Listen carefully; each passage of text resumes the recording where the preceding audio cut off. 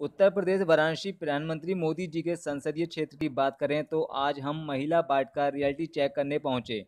जो लोग मरीजों को देखने और उनके साथ आते हैं, उनके लिए वेटिंग रूम तो बनाया गया है, लेकिन गर्मी के तपते तापमान को देखते हुए कोई सुविधा नहीं की गई है। मरीजों के परिजनों से बात करने पर परिजनों ने बताया कि यहाँ पर सरकारी हॉस्पिटल के नाम पर पैसा भी लिया जाता है। पीने के लिए शुद्ध पानी की भी व्यवस्था नहीं है अगर किसी व्यक्ति को पानी पीना हो, तब हॉस्पिटल के बाहर जाना पड़ता है। हॉस्पिटल में ड्यूटी गार्ड की व्यवस्था तो है, लेकिन गार्ड के स्थान पर सिर्फ़ आपको गार्ड का डंडा ज़रूर देखने को मिल सकता है।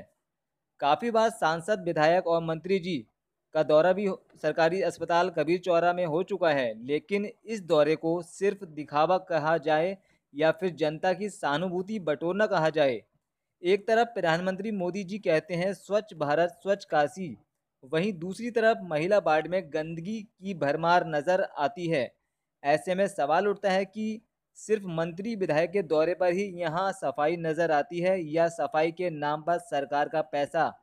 कबीर चौरा हॉस्पिटल, डकार रहा है। लाइव अभी तक के लिए खुर्शीद आलम की रिपोर्ट।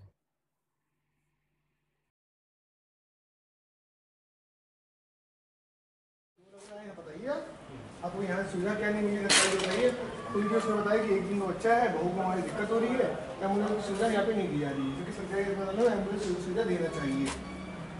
बस वहीं में लगा दिए थे इनकी क्या बोला जी, यहाँ के सी एम ओ थी सेना त्रिपाठी इससे पहले हैं, उनका डी एम साहब तलब कर लिए, बुला लिए। तलब कर लिए